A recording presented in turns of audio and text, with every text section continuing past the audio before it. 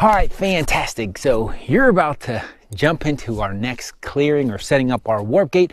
And we're gonna set up with a warp gate. It's gonna be our advanced prep warp gate. And it's very simple. As the other ones run, we just say advanced prep warp gate, activate in my highest good, breathing into your heart chakra.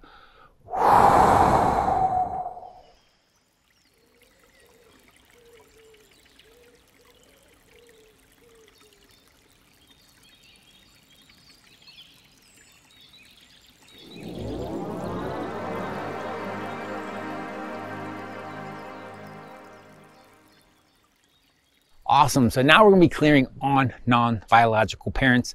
And that could also be just another parent or another person that was not your biological parents that helped raise you. It could be foster parents. It could be, you know, anybody that was kind of there on your young growing up and was your, for your formative years that wasn't biological to you.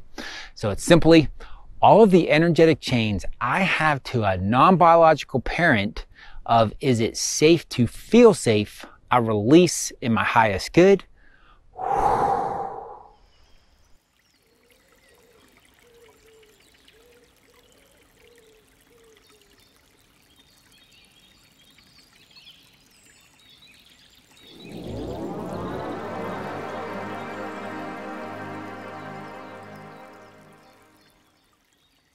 Now moving on to the not versions of that clearing. So it's all of the energetic chains I have to my non-biological parent of is it not safe to feel safe, I release in my highest good.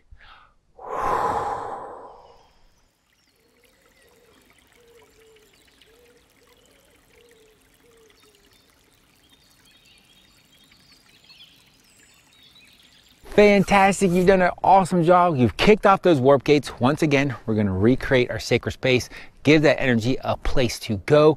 We're gonna do it with a warp gate, which is the advanced prep warp gate. So we're gonna do the advanced prep warp gate. So it's advanced prep warp gate, activate in my highest good, breathing in the heart chakra,